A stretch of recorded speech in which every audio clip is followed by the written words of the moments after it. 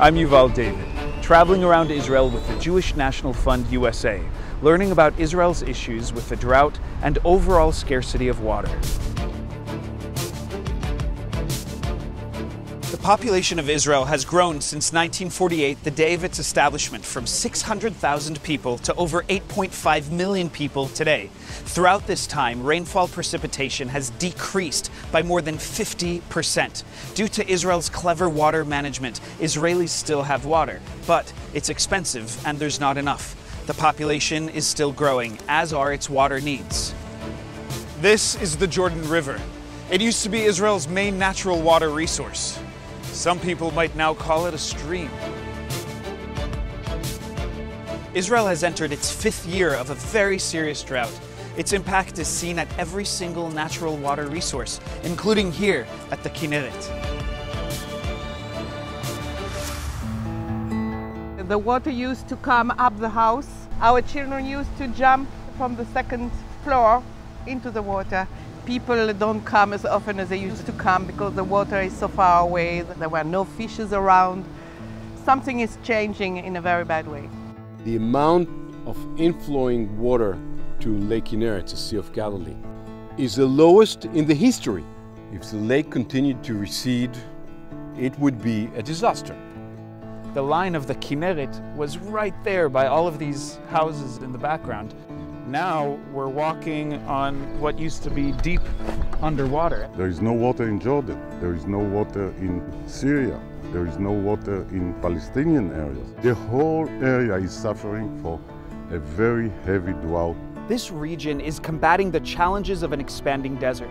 Israel has to maintain and develop its natural and alternative water resources in order to survive.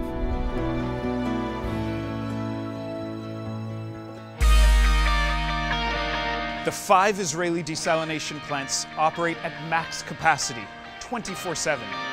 This is the largest desalination plant uh, in Israel, in the world. 20% of the Israeli water is coming from this plant today. This water, about 30 minutes ago, was seawater, and now it's potable water, drinking quality. L'chaim.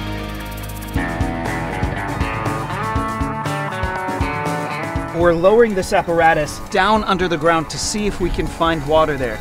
We're waiting for a siren to go off. JNF USA is here in Chalutza helming the water drilling deep down into the aquifers to tap into the water that's necessary to create an agricultural oasis in the middle of this desert. What we're doing here, we're growing a hydroponic lettuce that the water runs in the tunnel the greens are just sitting inside and growing. This system is a recycling system. We save water by the system. When we came here, there was only sand.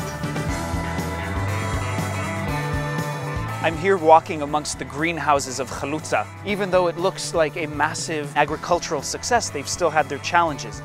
They are not connected to the national water grid. They get all of their water from a desalination plant in Ashkelon. That means water is much more expensive. 50% of Israel's water for agricultural use comes from recycled water stored in reservoirs just like this one built by JNF. 85% of Israel's water is recycled, bringing it to number one globally. Purple pipe, recycled water. What type of oranges are these? Uh, these are uh, Valencia. So all of this is thanks to the recycled water that comes here and you use to be able to grow these really tall trees. Almost every single drop of water in Israel is recycled. Now this is the gap, that not every drop of water is uh, in reuse. We need more reservoirs just to finalize the, the balance. In order to get closer to 100% of reuse of every drop of water, we need 90 more reservoirs to help you with this wonderful work to keep Israel alive. All my kids grew up in the fields. We all see that growing for your country is beautiful and it's important. If we would have enough water, we could feed our own people.